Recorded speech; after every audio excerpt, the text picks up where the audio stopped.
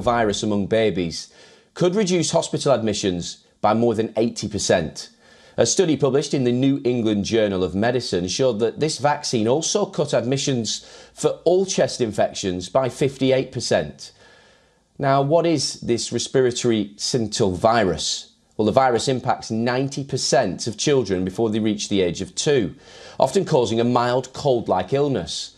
The infection can also lead to severe lung problems like pneumonia, and an estimated 30,000 babies and children are hospitalised in the UK each year.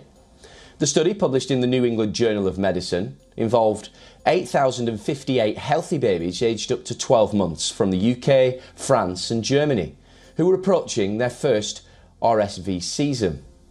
Of this group, 4,037 infants were randomly assigned to receive the vaccine nirsevimab, while 4,021 babies received standard care. The research found that of the babies who received the vaccine, only 11 that's 0.3%, were hospitalised. In comparison with 60 babies, that's 1.5%, who were hospitalised after receiving the standard care. Now, scientists have said that the vaccine nirsevimab could offer a solution after a study suggested that a single shot provided immediate protection against chest infections for up to six months. It's already being rolled out in the US and Spain and is being considered for a UK rollout where it's been approved but not yet made available on the NHS.